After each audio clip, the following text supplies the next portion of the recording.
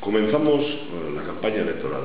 Son 15 días duros, intensos, en los que vamos a estar pueblo a pueblo, barrio a barrio, estando con la gente, mirándoles a la cara y mirándoles a los ojos, haciéndoles nuestras propuestas y pidiéndoles su apoyo.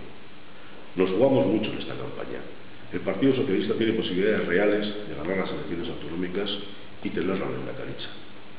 Unas elecciones en las que Euskadi se juega su futuro, un futuro distinto al que ha sido estos últimos años que nos ha tocado vivir. Un futuro que deje al lado lo que es la división y la confrontación y que plantee un proyecto que una a los vascos detrás de lo que es eh, conseguir que podamos admirar todos el futuro con optimismo.